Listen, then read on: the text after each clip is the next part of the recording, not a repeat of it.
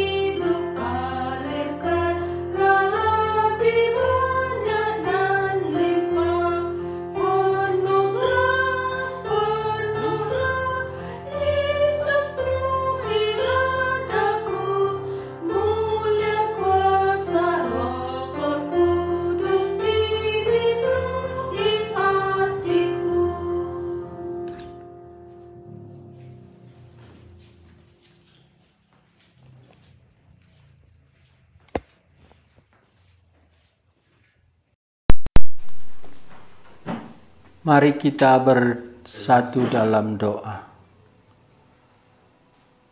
Bapa Surgawi, Bapa yang mencipta kami, Bapa yang masih menopang hidup kami. Malam ini, isilah hati pikiran kami dengan kebenaran firman-Mu. Berbelas kasihanlah kepada kami biarlah nyata kasih-Mu bagi kami. Roh kebenaran bekerjalah di tengah-tengah kami, khususnya hamba-Mu yang memberitakan kebenaran-Mu. Tuhan urapi, Tuhan kuasai, Tuhan lindungi. Biarlah semata-mata kebenaran yang dari Tuhan boleh Dia sampaikan bagi kami. Kami mohon Tuhan menjaga setiap kami, malaikat Tuhan membentengi kami. Juga peralatan kami, jaringan Tuhan topang. Biarlah semua Tuhan pakai sebagai saluran anugerah-Mu bagi kami. Nyatakanlah kebenaran cinta kasih-Mu yang kekal bagi kami. Siapkan hati kami, buka pikiran kami. Berfirmanlah bagi kami. Sekali lagi, setan iblis, musuh kebenaran jauh daripada kami. Juga kedagingan kami Tuhan angkat, Tuhan sucikan oleh darah Kristus. Dan cinta kasih Kristus boleh tiba kepada kami.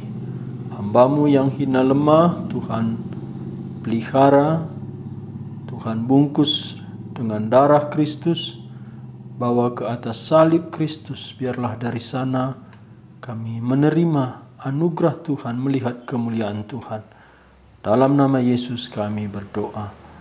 Amin. Mari Bapak Ibu kita lanjutkan eksposisi surat Roma.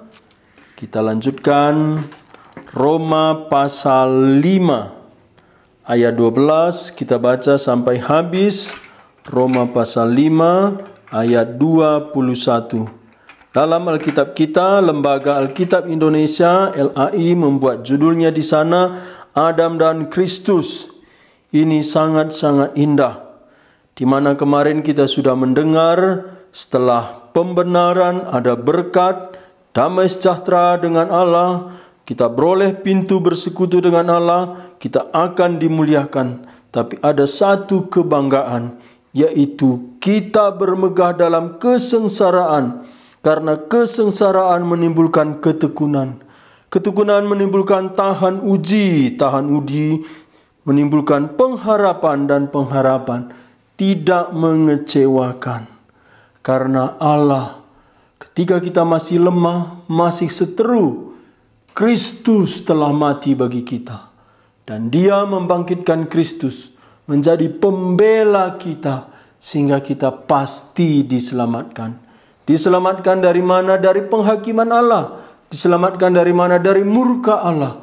Sehingga kita beroleh hidup yang kekal dalam Kristus Yesus Tuhan kita. Dan kemegahan itu hanya kita kembalikan kepada Kristus yang adalah pembela kita.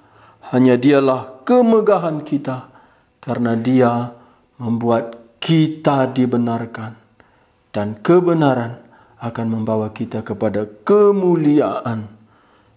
Selanjutnya pasal 5 ayat 12 Paulus kembali mengingatkan siapa kita, dari mana kita, bagaimana kita boleh mengerti anugerah Tuhan.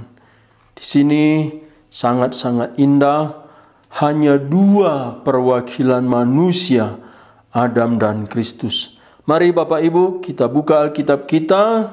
Saya baca dari tempat ini Roma pasal 5 ayat 12 sampai ayat 21. Demikian firman Tuhan. Sebab itu sama seperti dosa telah masuk ke dalam dunia oleh satu orang dan oleh dosa itu juga maut. Demikianlah maut itu telah menjalar kepada semua orang karena semua orang telah berbuat dosa. Sebab sebelum hukum Taurat ada telah ada dosa di dunia tetapi dosa itu tidak diperhitungkan kalau tidak ada hukum Taurat. Sungguh pun demikian maut telah berkuasa dari zaman Adam sampai zaman Musa juga atas mereka yang tidak berbuat dosa dengan cara yang sama seperti yang dibuat oleh Adam yang adalah gambar dia yang akan datang tetapi karunia Allah tidak sama dengan pelanggaran Adam sebab jika karena pelanggaran satu orang semua orang telah jatuh ke dalam kuasa maut jauh lebih besar lagi kasih karunia Allah dan saya ulang ayat 15. Tetapi karunia Allah tidak sama dengan pelanggaran Adam. Sebab jika karena pelanggaran satu orang, semua orang telah jatuh di dalam kuasa maut, jauh lebih besar lagi kasih karunia Allah dan karunianya yang dilimpahkannya atas semua orang karena satu orang yaitu Yesus Kristus. Ayat 16 dan kasih karunia tidak berimbang dengan dosa satu orang.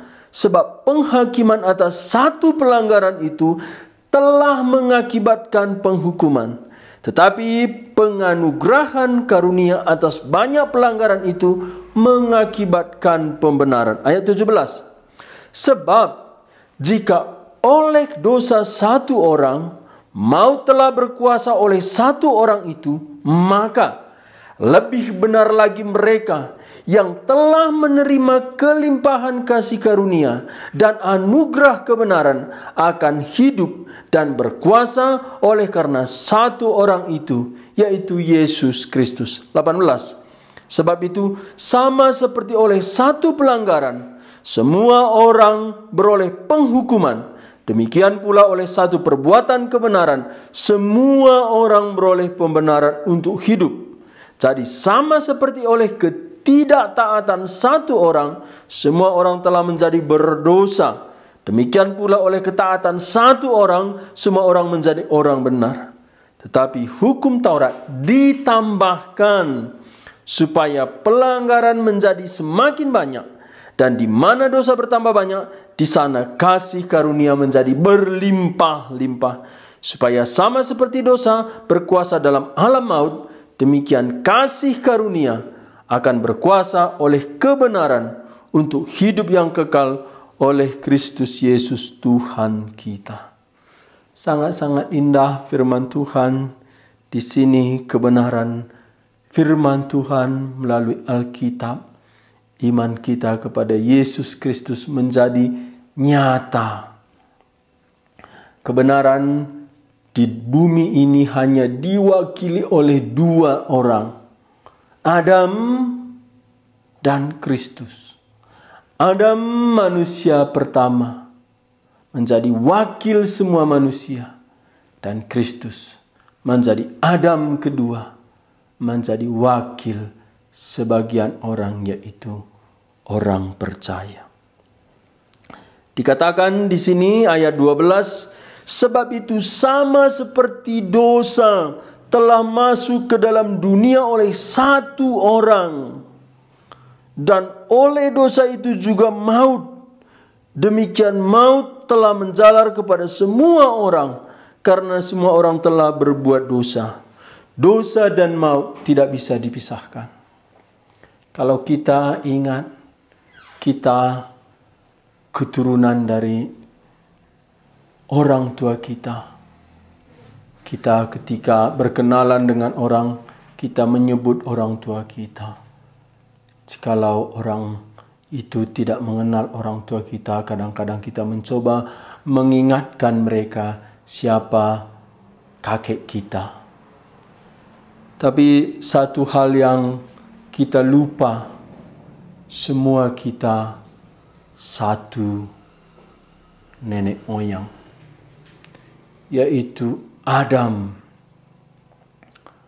Adam adalah kepala kita. Adam adalah wakil kita. Adam adalah yang darinya kita semua dicipta.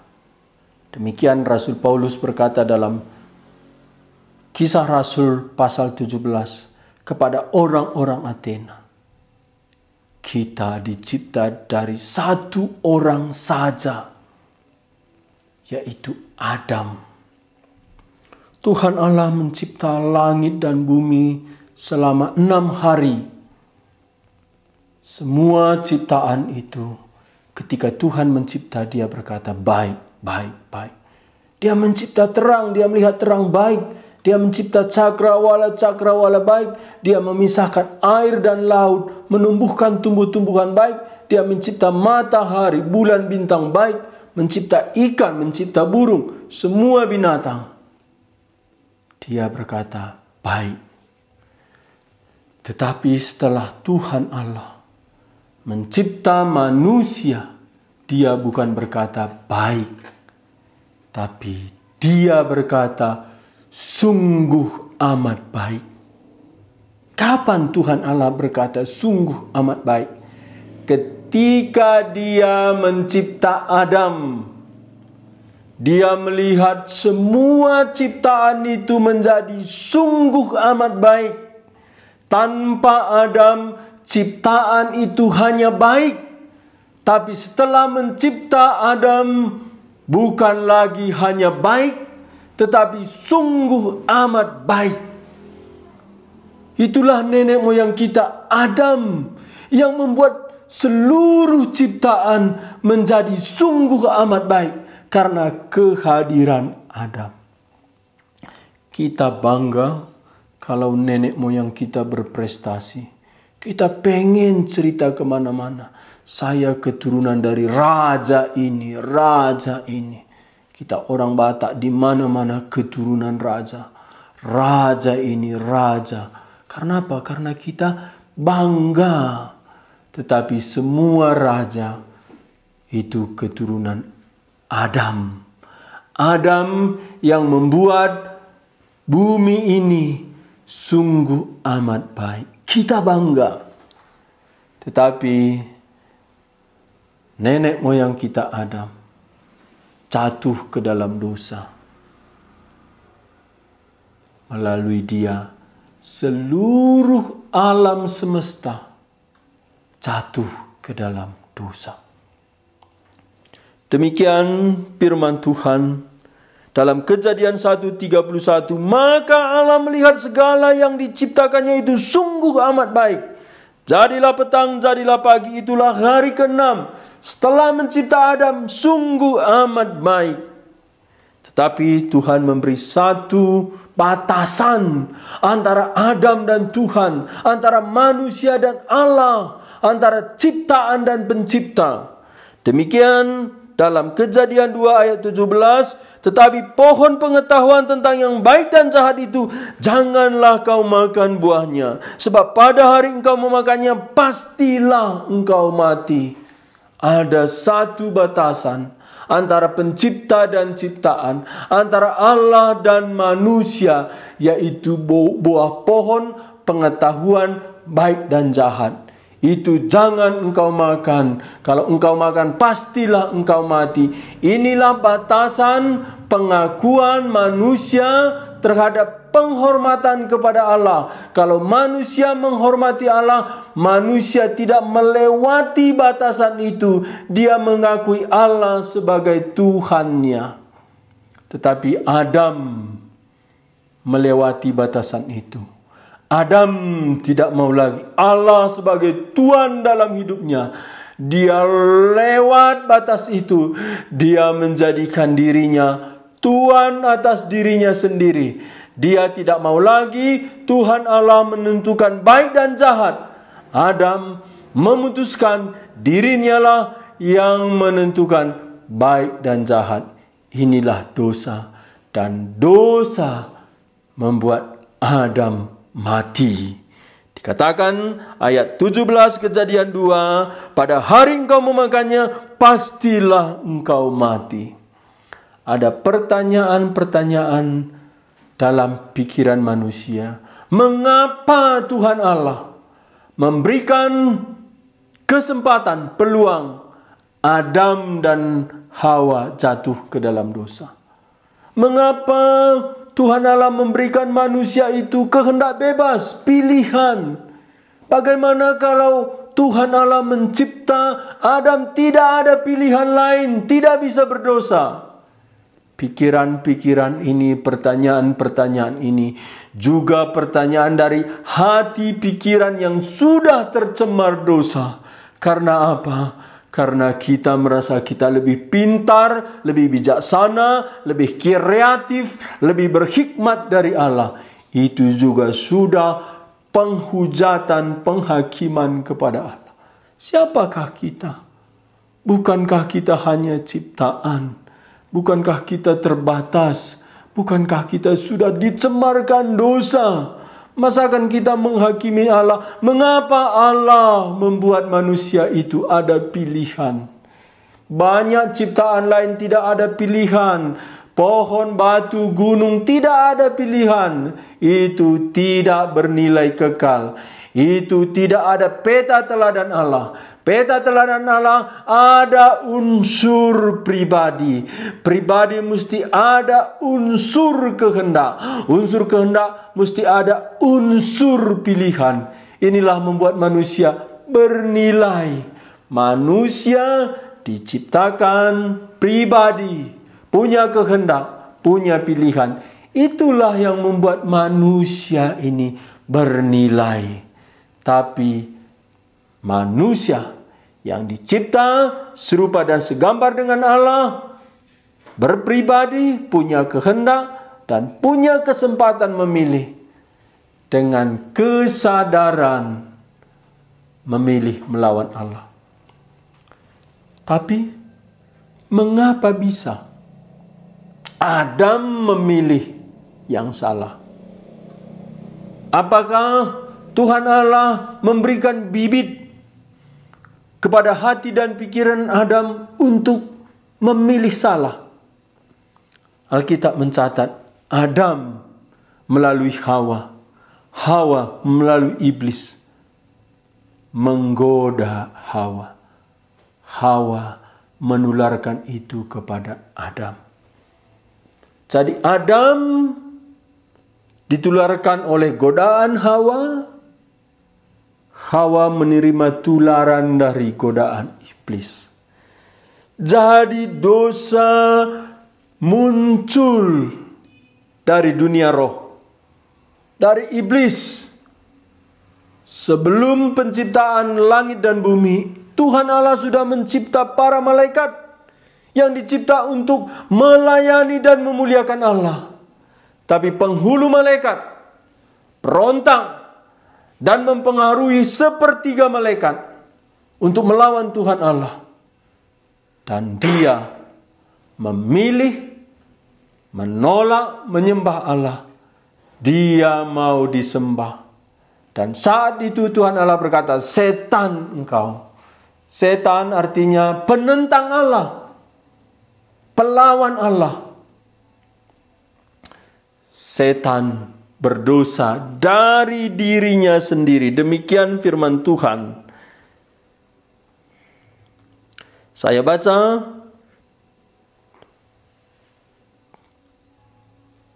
dari 1 Yohanes pasal 3 ayat 8. Barang siapa yang tetap berbuat dosa berasal dari iblis. Sebab iblis berdosa dari mulanya. Iblis berbuat dosa dari mulanya. Dari mulanya sebelum penciptaan langit dan bumi, iblis sudah berdosa. Mengapa dia berdosa? Yohanes 8 ayat 44. Tuhan Yesus berkata, iblislah yang menjadi bapamu. Dan kamu ingin melakukan keinginan-keinginan bapamu. Ia adalah pembunuh manusia. Iblis itu pembunuh manusia. Bagaimana iblis membunuh manusia? Apakah iblis mencekik manusia? Iblis membunuh manusia dengan menggoda manusia itu melawan Tuhan Allah. Ketika manusia itu melawan Tuhan Allah, di situ manusia itu bunuh diri. Jikalau engkau makan buah ini, pastilah engkau mati. Ini seperti racun. Jikalau engkau minum racun ini, engkau pasti mati. Demikian Adam makan buah itu. Demikian orang bunuh diri minum racun itu. Jadi tindakan Adam makan buah pengetahuan baik dan jahat itu tindakan bunuh diri. Tuhan Allah sudah memperingatkan jikalau engkau makan pastilah engkau mati. Adam sengaja makan berarti itu tindakan bunuh diri. Dari mana? Dari pengaruh iblis. Iblis berkata kepada Hawa, "Engkau tidak tentu mati. Kalau engkau makan, kau menjadi seperti Allah." Demikian Hawa mempengaruhi Adam. Setan berdosa dari semula. Setan, iblis, pembunuh manusia. Setan membunuh manusia, menggoda manusia itu supaya manusia makan buah pohon baik dan jahat. Tuhan sudah memperingatkan, jangan makan, kalau makan matilah engkau. Tapi iblis berkata, bukan mati tapi engkau akan seperti Allah. Inilah cara iblis membunuh. Cara iblis membunuh menggoda kita. Menggoda kita untuk melawan Tuhan Allah. Dan penggodaan iblis itu selalu lunak. Tidak kentara. Seperti nyamuk malaria, nyamuk DBD menggigit kita. Kita tidak merasa apa-apa setelah nyamuknya terbang ada gatal sedikit, kita pergi tidur. Besok-besok kita demam. Akhirnya periksa, aduh, DPD. Demikian setan menggoda manusia. Ada orang jatuh ke dalam narkoba. Itu coba-coba. Pertama biasa. Akhirnya diperbudak. Akhirnya masuk rehabilitasi. Tetap tidak lepas demikian setan menggoda Hawa, Adam jatuh ke dalam dosa. Yang tadinya dicipta Allah sungguh amat baik. Itulah nenek moyang kita Adam. Tapi sekaligus nenek moyang kita Adam, wakil kita melawan Tuhan Allah, otomatis kita keturunannya juga bersama dia melawan Tuhan Allah. Ada satu ayat dalam firman Tuhan demikian Ibrani 7 9 sampai 10. Maka dapatlah dikatakan bahwa dengan perantaran Abraham dipungut juga persepuluhan dari Lewi yang berhak menerima persepuluhan. Orang Lewi mengurus bait Allah. Dia menerima persepuluhan dari orang Israel, 12 suku. 11 suku. Israel itu ada 12 suku, 11 suku dipimpin oleh pelayanan satu suku Lewi. Lewi satu suku melayani Tuhan. Full timer di bait Allah. Mereka tidak punya ladang, punya tanah, mereka tidak berusaha. Mereka makan dari mana? Dari ke sebelas suku. Jadi sebelas suku memberikan persepuluhan untuk satu suku. Jadi sebelas suku, sepuluh, sepuluh, sepuluh. Jadi suku Lewi menerima seratus sepuluh persen dari penghasilan keseluruhan suku Israel. Suku Israel ada 12, 11 suku memberikan persepuluhan kepada satu suku.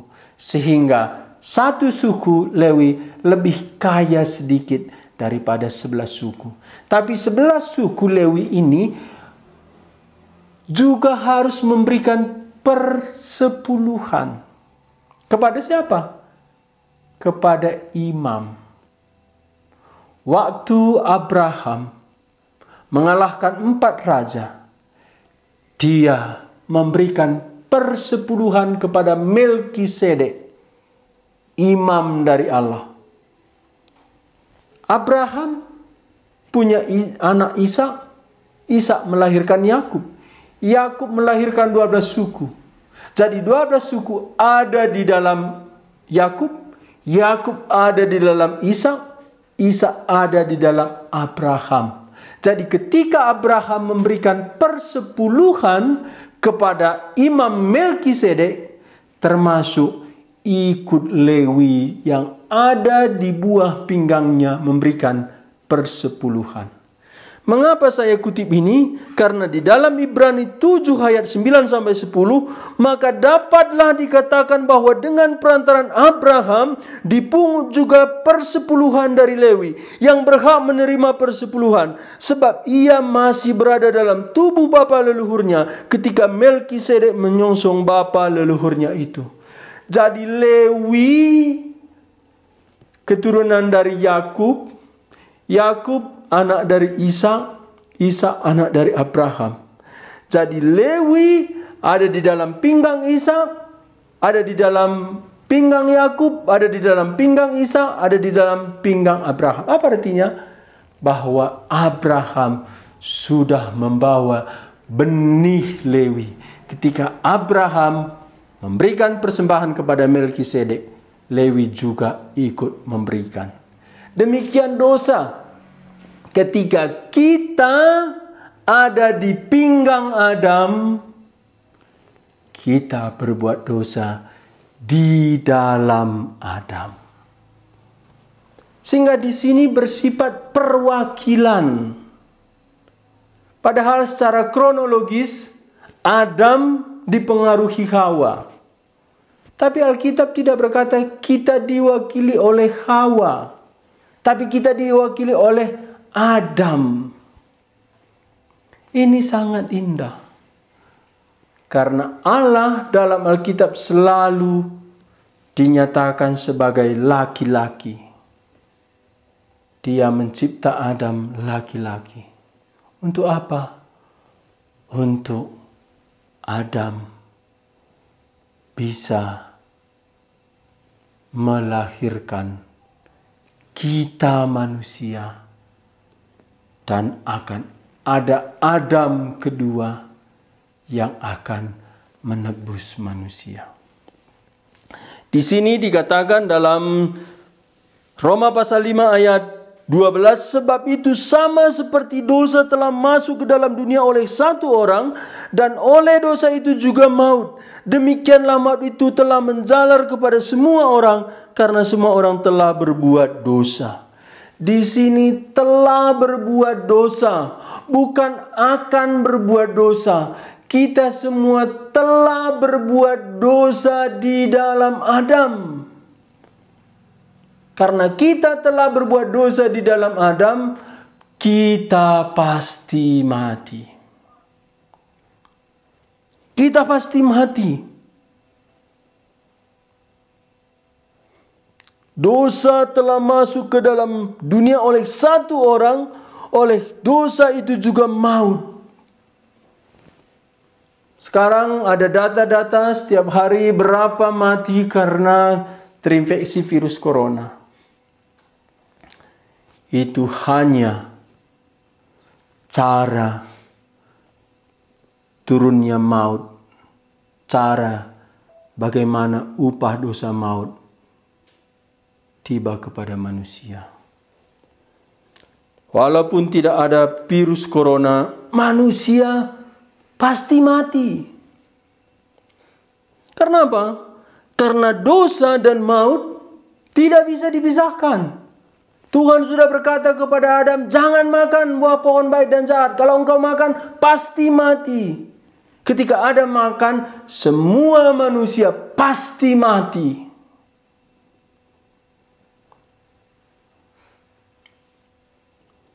Termasuk anak-anak mati. Karena apa? Karena sudah berdosa. Ini bukan berarti mereka berdosa akan dihakimi Allah. Karena Alkitab tidak mencatat dosa keturunan itu akan dihakimi Allah. Tapi dosa keturunan di sini kita sebagai keturunan Adam sudah berdosa. Kalau kita melihat seorang tukang potong rambut. Kita langsung tahu dia itu tukang potong rambut. Karena apa? Karena dia terus kalau datang orang potong rambut, potong rambut. Jadi kita tidak bertanya dia pekerjaannya apa karena kita sudah melihat dia potong rambut. Kenapa? Karena dia pekerjaannya tukang potong rambut. Sehingga dia memotong rambut. Demikian kita keturunan Adam sudah berdosa. Karena kita sudah berdosa. Kita terus berbuat dosa ini menyatakan kita tidak bisa tidak mati. Sebab itu sama seperti dosa telah masuk ke dalam dunia oleh satu orang dan oleh dosa itu juga maut demikianlah maut itu telah menjalar kepada semua orang karena semua orang telah berbuat dosa. Ayat 13, sebelum hukum Taurat ada, telah ada dosa di dunia ini. Tetapi dosa itu tidak diperhitungkan kalau tidak ada hukum Taurat. Taurat ada setelah Musa. Adam jauh sebelum Musa. Ada orang menghitung dari Musa ke Adam, ada 4500 tahun, ada 2500 tahun. Sebenarnya itu tidak bisa kita hitung karena ada keturunan silsilah-silsilah yang dipotong, yang tidak dicatat. Hanya yang penting-penting dicatat Allah. Kita tidak tahu berapa tahun dari Musa kepada Adam. Tetapi ayat 14 berkata, sungguh pun demikian, maut telah berkuasa dari zaman Adam sampai kepada zaman Musa juga atas mereka yang tidak berbuat dosa dengan cara yang sama seperti yang telah dibuat Adam yang adalah gambar dia yang akan datang. Musa memberikan Taurat. Sebelum Musa memberikan Taurat, telah ada dosa di dalam dunia. Tapi dosa tidak diperhitungkan karena tidak ada tertulis. Sehingga sekarang hukuman dalam pengadilan itu menurut undang-undang sekian karena sudah ada tertulis. Itu konsepnya dari Tuhan. Karena Tuhanlah yang memulai untuk penghakiman itu mesti ada tertulis. Dari Adam sampai Musa tidak ada hukum Taurat. Apakah dosa tidak ada? Dosa sudah ada, tetapi dosa tidak diperhitungkan karena tidak tertulis. Apakah manusia tidak tahu itu dosa kalau tidak tertulis? Tahu. Pasal 2 sudah dikatakan bahwa ada hati nurani manusia untuk menyadarkan manusia berdosa. Manusia itu tahu dosa, tapi manusia tidak tahu sebesar apa dosanya. Manusia juga bisa berdalih kalau tidak ada hukum tertulis. Sehingga Tuhan Allah memberikan Taurat supaya manusia tahu betapa besar dosanya dan manusia tidak berdalih lagi kalau Tuhan menuntut dosa manusia. Kalau dosa sudah ada, Taurat belum ada, manusia tidak sadar betapa dosanya. Tapi Paulus berkata, sungguh pun demikian ayat 14, Maut telah berkuasa dari zaman Adam sampai zaman Musa, juga atas mereka yang tidak berbuat dosa dengan cara yang sama seperti yang telah dibuat oleh Adam, yang adalah gambar Dia yang akan datang. Walaupun tidak ada Taurat, dosa yang upahnya maut Ketika Adam berdosa, otomatis maut tiba kepada Adam. Demikian kepada keturunan Adam semuanya sudah berdosa, demikian juga maut. Dan di sini Paulus berkata, maut telah berkuasa. Ayat 14. Sungguh pun demikian maut telah berkuasa. Sebelum Musa sudah ada kematian-kematian. Kecuali Enok. Paulus di sini menyatakan maut kematian itu bukti manusia sudah berdosa walaupun tidak ada hukum Taurat. Seorang yang membunuh, yang berbohong, berzina itu berdosa walaupun tidak diketahui manusia dia sudah berdosa. Tapi ketika diketahui dimasukkan ke dalam pengadilan baru dia tidak bisa lari. Demikian dosa sudah menjalar kepada setiap manusia. Seluruh manusia sudah terjangkit maut. Paulus berkata, maut berkuasa. Semua orang tua mati, tua mati. Itu membuktikan manusia sudah berdosa. Jadi Paulus menyatakan di sini, kita tidak perlu lagi menolak keberdosaan kita.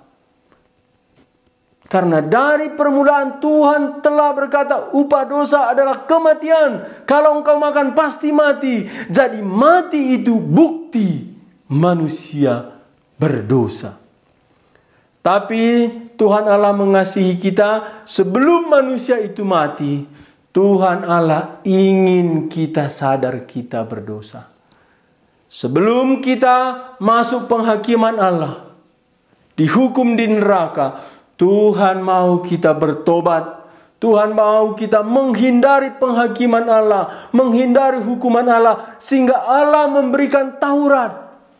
Jadi Taurat itu satu anugerah Tuhan bagi manusia sehingga manusia sadar dia akan binasa karena dosanya. Paulus berkata, sungguh pun demikian maut telah berkuasa dari zaman Adam sampai zaman Musa. Juga atas mereka yang tidak berbuat dosa dengan cara yang sama seperti yang dibuat oleh Adam. Yang adalah gambaran dia yang akan datang. Langsung ada gambaran dia. Apa ini? Adam kedua, yaitu Kristus. Adam pertama membawa kita masuk ke dalam dua dosa dan Adam Kedua, Kristus membawa kita masuk ke dalam kebenaran. Jadi saya pernah presentasi ada gambarnya ini keluarga Adam, ini keluarga Kristus. Bagaimana ini keluarga Kristus? Mereka yang pindah dari keluarga Adam kepada keluarga Kristus. Sehingga Kristus bukan turun melalui keturunan Adam, Kristus dari Roh Kudus untuk membawa manusia keluar dari hukuman Adam, mesti ada jalur yang satu lagi, yaitu jalur Kristus. Semua agama berada di bawah jalur Adam, tapi Injil melalui jalur Kristus. Semua dalam jalur Adam berdosa binasa, mesti kita keluar dan masuk jalur Kristus. Di sanalah kasih karunia. Ayat 15, tetapi karunia Allah tidak sama dengan pelanggaran Adam. Sebab jika karena pelanggaran satu orang, semua orang telah jatuh ke dalam kuasa maut, jauh lebih besar kasih karunia Allah dan karunianya yang limpahkan, dilimpahkannya atas semua orang karena satu orang yaitu Yesus Kristus. Jikalau melalui Adam semua kita berdosa, Jauh lebih besar kasih karunia melalui Yesus Kristus atas semua orang yang percaya karena satu orang ini yaitu Yesus Kristus. Kalau kita di sini baca sepertinya diulang-ulang, diulang-ulang, tapi dengan angle sudut yang berganti-ganti. Supaya apa? Supaya kita tahu kita ini di dalam Adam kalau kita terus di dalam Adam, kita akan kena penghakiman dosa, maut. Kita mesti keluar masuk dalam jalur Kristus. Melalui jalur Adam semua kita berdosa. Tapi melalui jalur Kristus semua kita dibenarkan. Melalui jalur Adam karena satu dosa kita semua tercemar dosa. Melalui jalur Kristus kebenaran oleh kasih karunia melimpah melalui pengorbanan Kristus. Ini apa artinya? Kalau melalui Adam kita mati karena satu pelanggaran. Melalui Kristus kita hidup melampaui satu pelanggaran. Artinya apa? Kalau dosa Adam turun kepada kita dan kita tercemar dosa itu, kita membuat dosa umpamanya sepuluh ribu melalui jalur Kristus. Kita dibenarkan, bukan diberikan kebenaran sepuluh ribu. Melimpahi, melampaui sepuluh ribu. Jikalau hutang saya 20 ton, Kristus bukan bayar 20 ton. Kristus bayar berpuluh-puluh ton melampaui 20 ton atau ratusan ton atau ribuan ton. Sehingga kita menjadi benar. Jadi dalam Adam kita berdosa, dalam Kristus oleh kasih karunia kita dibenarkan. Demikian ayat 16 dan kasih karunia tidak berimbang dengan dosa satu orang sebab penghakiman atas satu pelanggaran itu telah mengakibatkan penghukuman. Dalam Adam kita beroleh penghukuman, tetapi penganugerahan karunia atas banyak pelanggaran itu mengakibatkan pembenaran. Artinya apa? Dalam Adam, Adam melakukan satu dosa, kita tercemar dosa, kita bertambah banyak berbuat dosa. Tapi dalam Kristus, dosa Adam ditambah dosa kita, semua ditelan Kristus, ditebus Kristus hidup kita, dibayar hutang dosa kita. Bukan saja sebesar hutang dosa kita dibayar melimpahi itu. Kalau hutang saya 20 juta, bukan 20 juta dibayar Kristus. Beratus-ratus beribu-ribu juta. Artinya apa? Tidak ada dosa kita terlalu besar. Karena anugerah dalam Kristus melampaui semua dosa kita. Ayat 17 sebab jika oleh satu orang mau telah berkuasa atas satu orang itu maka lebih benar lagi mereka yang telah menerima kelimpahan kasih karunia dan anugerah kebenaran akan hidup dan berkuasa karena satu orang itu yaitu Yesus Kristus. Diulang, diulang, diulang. Kenapa diulang? Padahal ayat-ayat sebelumnya sudah dikatakan kita bermegah dalam Kristus karena di dalam Kristus kita dibenarkan. Mengapa di sini diulang-ulang sampai ayat 21? Ini transisi. Pasal 6 di situ sudah dinyatakan buah hasil orang yang sudah dibenarkan. Ini seperti seorang mahasiswa akan diwisuda. Sebelum diwisuda ada nasihat-nasihat supaya setelah mereka diwisuda bisa menjadi berkat bagi masyarakat. Jadi supaya mereka bisa menjadi berkat, dosen mengingatkan bagaimana mereka bisa lulus dan diwisuda itu melalui proses yang panjang sehingga mereka bisa bersyukur sudah melewati proses itu. Mereka diwisuda dan mereka akan pergi ke masyarakat menjadi berkat. Demikian Paulus mengapa mengulang-ulang kamu dalam Adam berdosa, dalam Kristus dibenarkan. Melalui Adam, satu pelanggaran Adam membuat engkau semua tercemar dosa. Tabu, tapi kebenaran Kristus, semua pelanggaran itu ditelan Kristus, diampuni Kristus, dianugerahkan Kristus kebenaran yang berlimpah-limpah. Untuk apa? Paulus terus mengulang.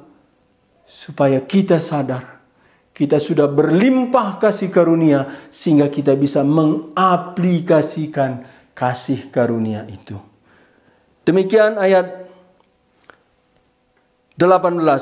Sebab itu sama seperti oleh satu pelanggaran semua orang beroleh penghukuman, demikian pula oleh satu perbuatan kebenaran semua orang beroleh pembenaran untuk hidup.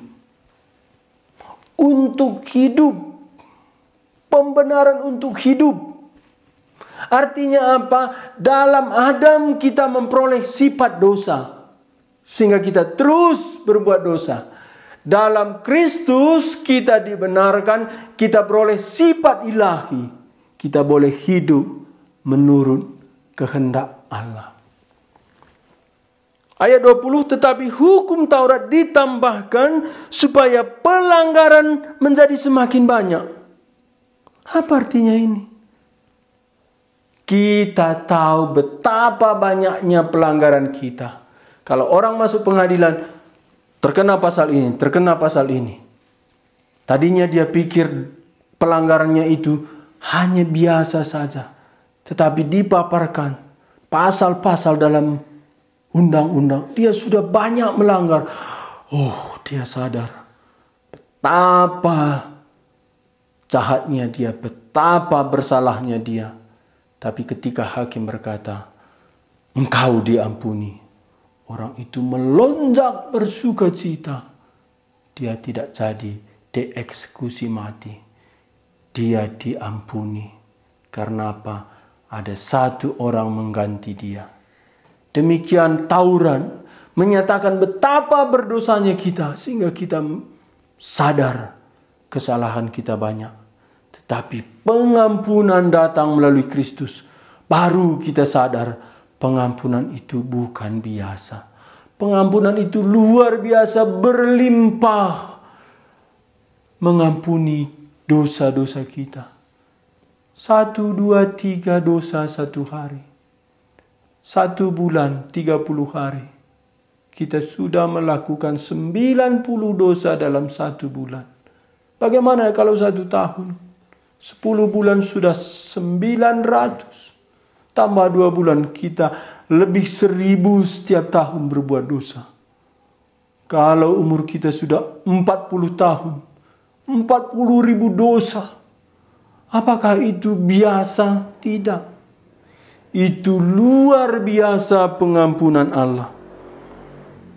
Dikatakan ayat 20 tetapi hukum Taurat ditambahkan supaya pelanggaran menjadi semakin banyak dan di mana dosa bertambah banyak di sana kasih karunia menjadi berlimpah-limpah supaya sama seperti dosa berkuasa dalam alam maut demikian kasih karunia akan berkuasa oleh kar oleh kebenaran untuk hidup yang kekal oleh Yesus Kristus Tuhan kita. Ayat 21 ini menyatakan orang yang berdosa itu berdosa selama-lamanya di neraka. Sehingga orang tidak bisa tidak dihukum bersama dosanya dan dalam hukuman itu juga dia berbuat dosa.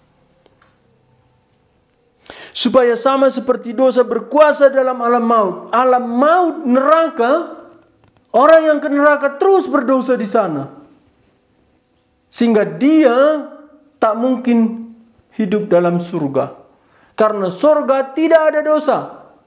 Dia hidup dalam dosa mesti di alam maut. Ini menyatakan kalau dosa tidak diampuni pasti masuk neraka. Karena dosa itu bukan barang mati. Dosa itu hidup. Orang berdosa akan terus hidup dalam dosa. Mati pun dia terus berdosa. Orang kaya yang mati masuk neraka, dia tetap berdosa, dia sombong. Suruh Lazarus mencelupkan jari-jarinya ke air dan dia meneteskan ke lidahku. Dia menganggap dia bos walaupun sudah di neraka. Demikian Paulus berkata, dosa berkuasa dalam alam maut.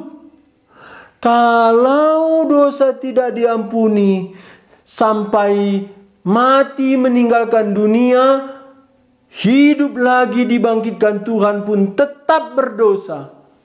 Tidak pernah berpisah dari dosa. Sehingga orang-orang di neraka tak mungkin ada cinta kasih di sana. Semua orang di sana membenci egois. Tidak ada persekutuan di neraka. Semua orang berdosa di neraka. Berbuat dosa terus. Jadi neraka itu bukan saja hukuman kekal. Tapi dosa kekal.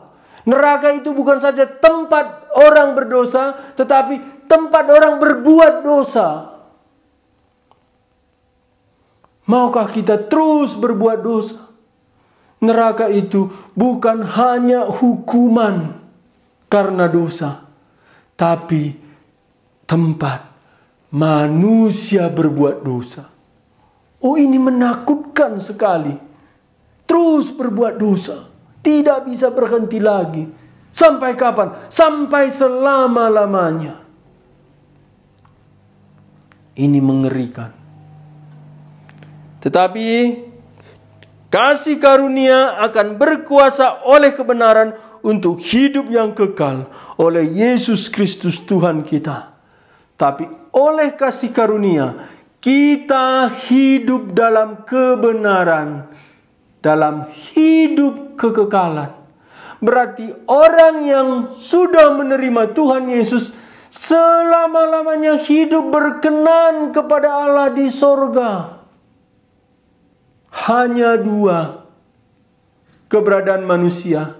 Dalam Adam kita berdosa dan terus berdosa sampai masuk neraka pun di sana terus berdosa, tidak bisa berhenti. Tapi oleh kasih karunia dalam Yesus Kristus, kita dibenarkan dan kita akan hidup benar selama-lamanya di hadapan Allah. Bapak, Ibu, Saudara sekalian, Jikalau belum melepaskan diri dari keturunan Adam, tinggalkanlah dosa, datanglah kepada Kristus. Yohanes 1 ayat 12. Dia datang kepada milik kepunyaannya. Tapi orang-orang kepunyaannya tidak menerima dia.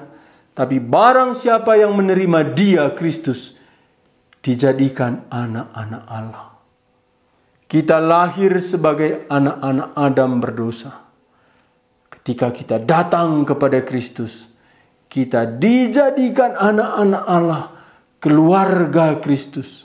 Dalam Adam kita berdosa, dan kalau kita tidak bertobat, mati sampai selama-lamanya berdosa terus di neraka. Tapi dalam Kristus kita stop berbuat dosa dibenarkan dan kita melakukan kebenaran sampai selama-lamanya. Hanya dua. Dalam Adam kita berdosa. Terus berbuat dosa. Dalam Kristus kita dibenarkan dan kita hidup untuk Allah dalam kebenaran. Mari kita berdoa.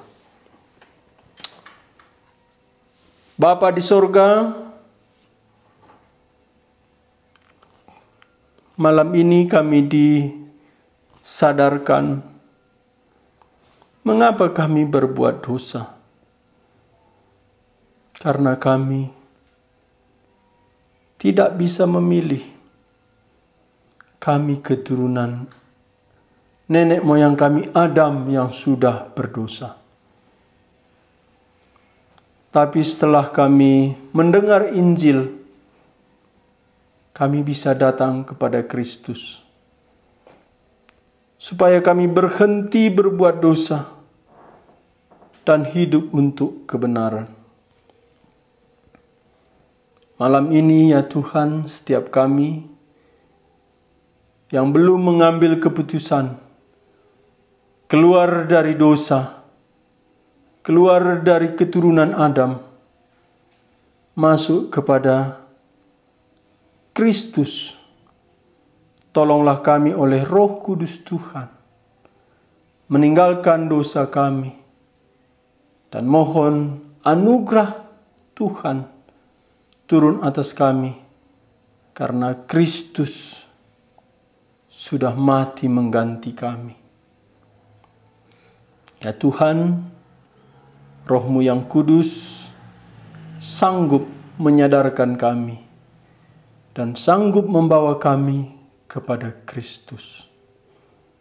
Terima kasih, biarlah setiap kami ambil keputusan oleh pertolongan Roh Kudus, bertobat dari dosa kami, dan menyerahkan diri kepada Kristus, sehingga kami lepas dari hukuman kekal, berdosa di neraka masuk kepada hidup kekal, hidup benar bersama-sama Tuhan selamanya. Terima kasih untuk malam ini. Kami menyerahkan hidup kami, juga hari esok. Tuhan bangunkan kami, Tuhan pimpin kami, Tuhan sertai kami.